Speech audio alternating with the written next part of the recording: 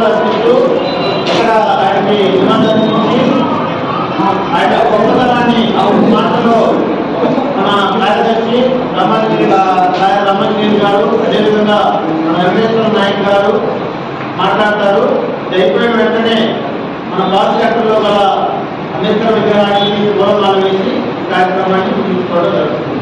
కాబట్టి అందరూ కూడా ఆ, ఒక్కొక్కగా పూలమాల వేసి అందరూ కూడా ఇక్కడ అర్పించి ఆయనకి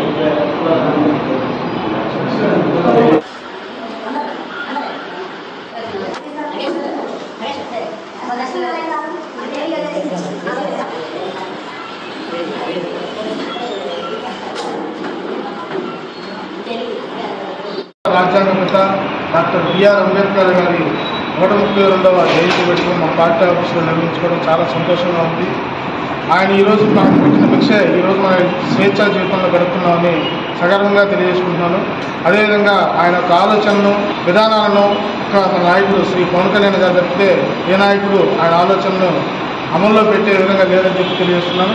భవిష్యత్తులో ఖచ్చితంగా శ్రీ పవన్ కళ్యాణ్ గారు అధికారం చేపట్టి ఆయన ఆలోచన విధానాన్ని పూర్తిగా ప్రజల్లోకి కనిపిస్తారని చెప్పేసి ఈ విధంగా తెలియజేస్తున్నాం అదేవిధంగా సుమారు నూట అరవై రోజుల పాటు ఈ భారత రాజ్యాంగాన్ని నిర్మించిన నిర్మాణానికి కృషి చేసిన వ్యక్తి డాక్టర్ బిఆర్ అంబేద్కర్ గారు.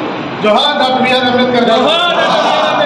నూట ముప్పై రెండవ జయంతి అంబేద్కర్ జయంతి గారి సందర్భంగా మార్చల్ యోజనా పార్టీ తరఫున అతని ఘనమైన నివాళులు అర్పిస్తూ అందరికీ శుభాకాంక్షలు. అయితే బానిసత్వం అనేది విడ విడవాలి అందరూ సమానత్వంగా ఉండాలి.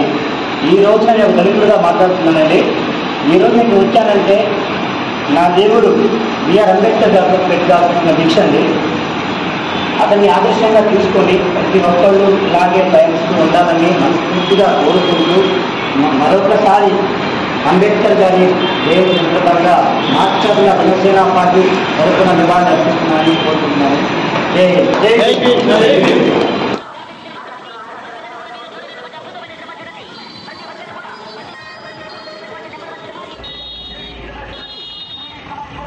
లాలా గారు.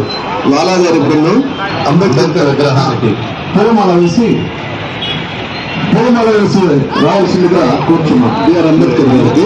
అభివృద్ధి కమిటీ తరఫున మరి వారికి హృదయపూర్వక సామాజిక స్పృహ మరి ప్రజాస్వామికవాది శ్రీనివాసరెడ్డి గారు. మరి ఎంతో కష్టపడి మరి అస్పృశ్యతకు అంటరాని అంటరాంతనానికి లాలా గారు వేదిక మీదకి రావాల్సిందిగా కోరుచున్నాం.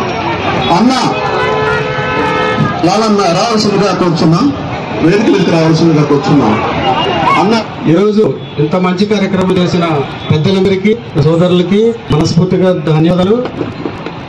మహాజ్ఞాని రాజ్యాంగ నిర్మ డాక్టర్ అంబేద్కర్ గారు ఆయన నేను నా దేశం రెండిలో నీకేం ముఖ్యమంటే నా దేశం నాకంటే అన్నిటికంటే ముఖ్యమైనది చెప్పిన మహాకి డాక్టర్ అంబేద్కర్ గారు. నాకంటే దేశాన్ని ఎక్కువ భరించిన వ్యక్తి. అలాంటి వ్యక్తికి ఎంత ఇంకా రానున్న రోజుల్లో మనకి చేసిన యొక్క ఆశయాన్ని ఆయన యొక్క సిద్ధాంతాన్ని ప్రజలకు తీసుకెళ్ళడమే మనం చేసే ఘనమైన జయంతి. ఈ అవకాశం కల్పించిన నాయకులందరికీ నమస్కారం. అంబేద్కర్.